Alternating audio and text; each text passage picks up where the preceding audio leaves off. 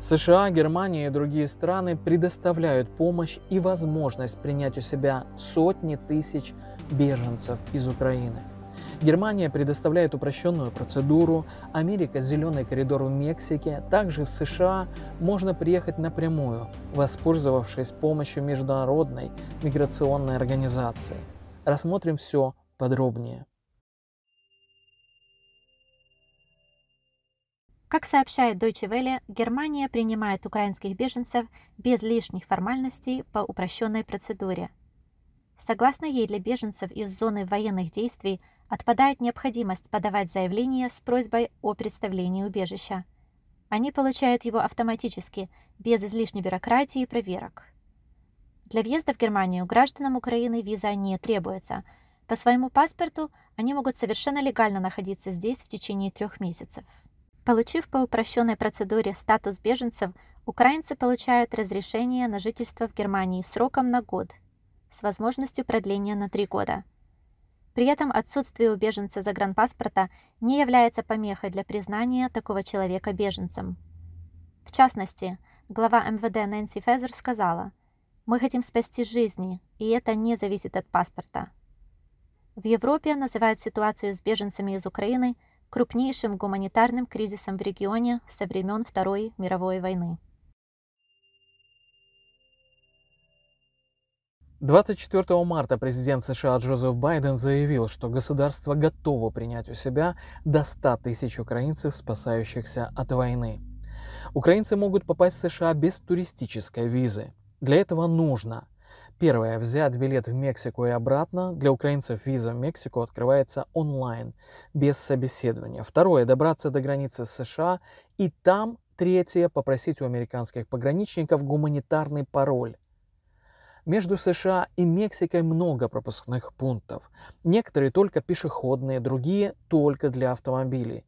В городе Тихуана для украинцев сейчас открылся пешеходный пункт пропуска, которого до этого не было. Тюхуана – основной коридор, через который проходят граждане Украины. В основном это те, у которых есть родственники и друзья в США. В этом городе есть международный аэропорт. В аэропорту прибывающих граждан Украины встречают волонтеры. В основном это христиане из украинских и других славянских общин. В самой очереди все сделано для того, чтобы ожидающие могли поесть и отдохнуть. Мэрия Тихуаны помогает и содействует беженцам. Предоставляются места для сна, медицинская помощь. Так в лагере ожидающих за этот период родилось несколько детей. В день границу проходят примерно около 100 граждан Украины. Быстро наглядно покажу, как это все работает. Вы выходите отсюда, а вас просто прилетаете, выходите, видите, вот, а, поможем, короче. Вот. И тут волонтеры наши, которые стоят, вот он парень, а, ведет нас вас туда. Это наша база, наша station, help station. Тут помогают девчонки а, с организацией. Мы записываем всех, кто а, кому нужна помощь перевоза отсюда, от аэропорта до, до границы. Да. А, потом э, быстренькое объявление, вводная информация такая, э, что нужно делать, что не нужно делать, как нужно делать. Все вопросы задаются лично э, мне или любому другому волонтеру, либо еще с этой стороны тоже. Пледы есть, все есть, то есть еда есть. Тут идет объявление, что нужно делать и что не нужно делать. Так работаем. День и ночь, 24 на 7 волонтеров вроде как хватает, но отдыха бы больше. Так, какие произошли обновления? Больше людей стало, палатки нам дали, палатки теперь более-менее спят все.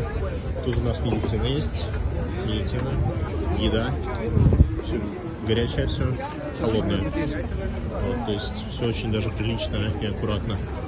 Там в этой автобусной остановке хранятся вещи, зарядки, и некоторые люди даже спят. Тут даже зеркало есть, ничего себе. Вот это да. Вот так вот. Вот так все происходит у нас тут. Есть возможность проехать в Америку с гражданами США в городке на востоке от Тихуаны, Мехикали. Также есть примеры прохождения пропускных пунктов по гуманитарному паролю на границе со штатом Техас по реке Рио-Гранде. Там нет очередей, но также там нет пока волонтеров и гарантии безопасности. Мы сообщим вам, как только появится новая информация по этому пути.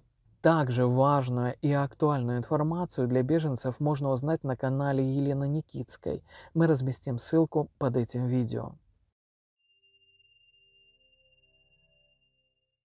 Мексика не единственный путь для беженцев в США. Если пройти собеседование и предоставить необходимые документы в Международную миграционную организацию, то можно получить не просто гуманитарный пароль, а статус беженца. Офис организации находится в столице Молдовы по этому адресу. Время работы с понедельника по пятницу с 9 утра до 4 вечера – при предоставлении документов IOM беженцы могут лететь напрямую в США. На этом все. Следите за информацией на нашем канале. До встречи, благословений и мира вам.